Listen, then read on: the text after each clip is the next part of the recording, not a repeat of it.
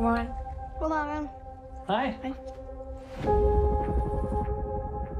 Det som har skjedd, er at en plattform har gått ned. Vi skal lete etter mennesker. Det er helt riktig.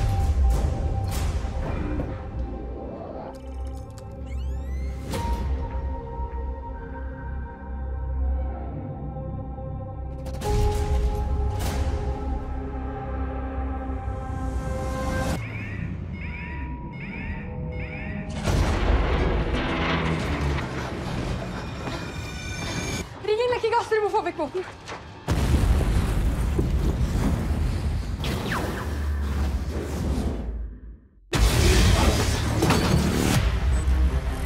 Ja, det har altså vært en dramatisk utvikling de siste to dagene.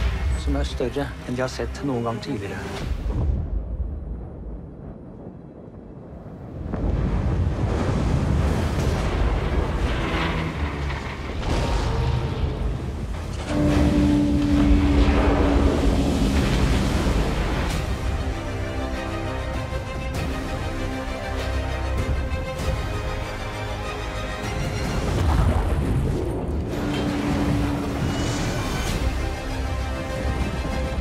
Har det skjedd noe med pappa?